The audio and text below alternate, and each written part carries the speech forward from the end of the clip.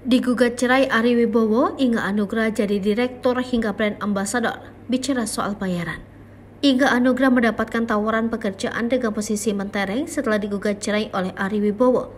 Setelah sebelumnya, Inga Anugrah mengaku kesulitan finansial hingga kebingungan terkait tempat tinggal setelah digugat cerai Ari Wibowo. Kini ia merasa bersyukur sang pencipta telah mengubah hidupnya. Ibu dua anak itu mendapatkan tawaran pekerjaan sebagai Direktur Marketing PT Athena Group Industri milik Dr. Richard Lee. Selain mendapatkan tawaran sebagai direktur, hingga juga kini menjadi brand ambassador sejumlah produk. Sempat merasa kaget dengan tawaran pekerjaan itu, hingga kini merasa bersyukur atas hidupnya. Menurutnya, apa yang terjadi dalam hidupnya kini tak lepas dari kekuatan doa. Ia merasa Tuhan tak akan membiarkan hidupnya terus-terusan merasa kesulitan hingga kelaparan. Pun, Inga meyakini hidupnya di dunia ini pasti memiliki tujuan baik yang sudah disiapkan Tuhan. Kepada Melani, Inga mengaku kaget dengan tawaran pekerjaan itu. Lantaran di awal, Inga hanya berniat menghadiri undangan untuk menerima penghargaan dari Dr. Richard Lee saja.